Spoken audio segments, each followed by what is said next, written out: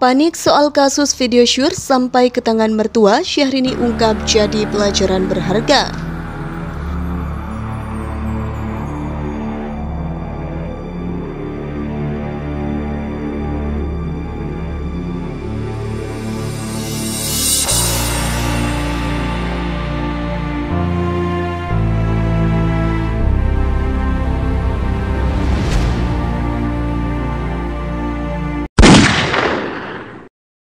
Dapur berita artis terkini.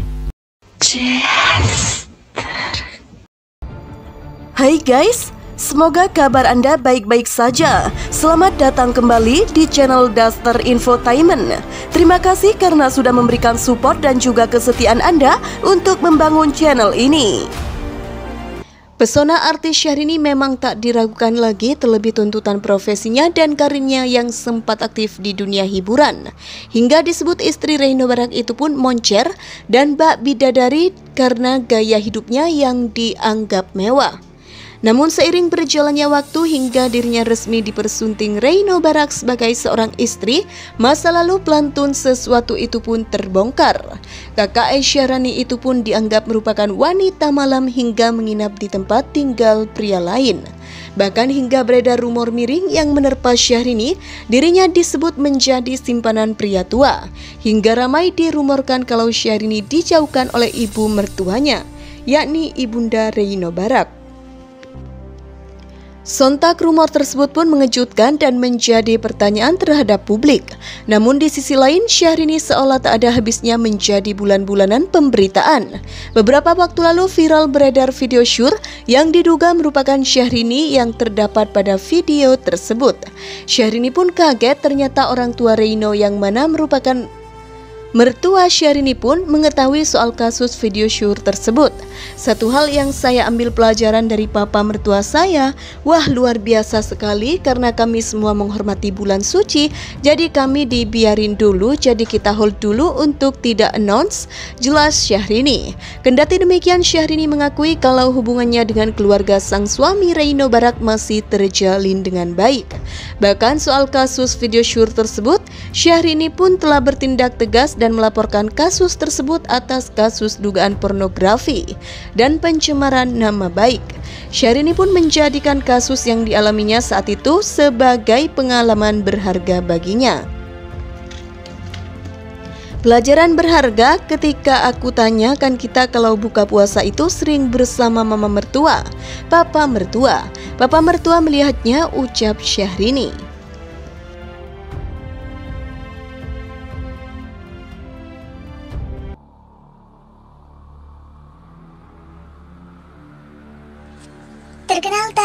Reino Barak pakai kacamata alay disorot wibawa suami Syahrini langsung anjlok.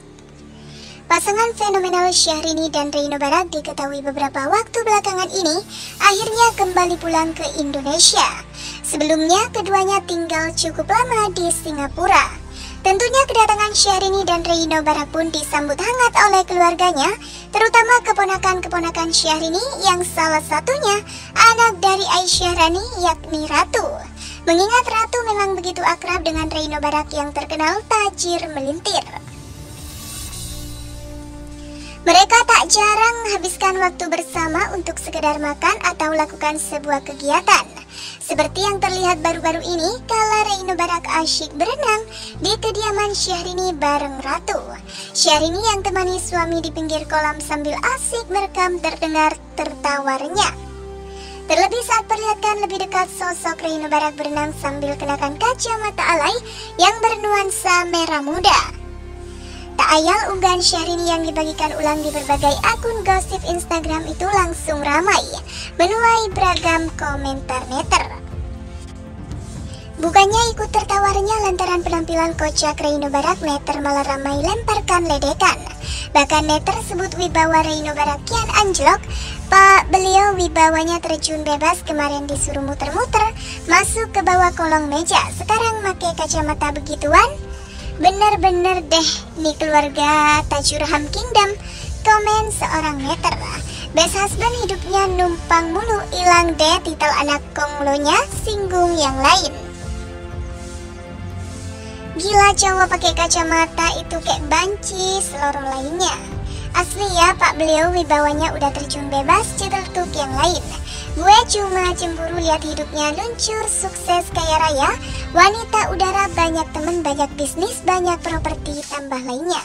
Sono girang banget main air beneran anak mami kayak bocah menolak tua, menghindar dari tanggung jawab sebagai keluarga, imbuh neter yang lainnya lagi.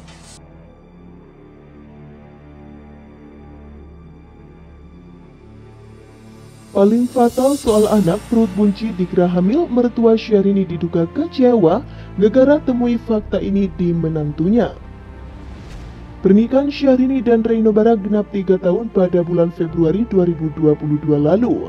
Namun kehamilan Syahrini masih belum juga ada kabarnya. Kini Syahrini kembali diperbincangkan setelah pamer foto selepas pulang dari Singapura beberapa waktu lalu. Istri dari Reno Barak itu tampak terlihat kunci dalam satu waktu. Alhasil banyak yang menduga kalau Syahrini tengah hamil. Potret tersebut dibagikan ulang oleh para fans di akun Instagram Syahrino. Lewat kolom komentar, fans menuliskan bahwa mereka menduga Syahrini sukses program di Singapura. Bukan tanpa alasan dugaan tersebut lantaran perawakan Syahrini yang terlihat lebih gemuk ditambah aksi Reino Barak yang memegang perut dari istrinya. Sayang, hal itu nampaknya masih jadi harapan. Pasalnya muncul isu Syahrini gagal lakukan program hamil sehingga membuat orang tua Reino Barak kecewa. Seorang netizen yang tak diketahui identitasnya menyebut jika Syahrini sudah tak lagi dianggap menantu oleh keluarga Reino Barak gara-gara kelakuannya. Sebenarnya udah lama Budia didepak say awalnya cuma didimain doang, Terus disindir-sindir akhirnya teguran keras Pak Sanyo malu juga ke lingkungan bisnisnya kata netizen. Saat ditanya apa alasan yang membuat Syahrini ditegur hingga di depan jadi menantu, sang netizen menyebut banyak hal yang membuat Syahrini dijauhi. Banyak hal mulai dari pamer foto-foto di APT-nya, makanya kan dilarang ambil foto di APT.